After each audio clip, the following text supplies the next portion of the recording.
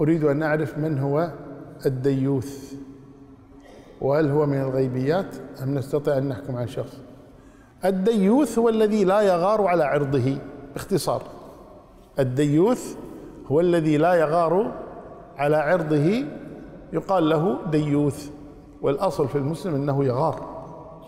ولذلك النبي صلى الله عليه وسلم يقول أتعجبون من غيرة سعد؟ فأنا أغير من سعد. فالمسلم لابد أن يغار. نعم.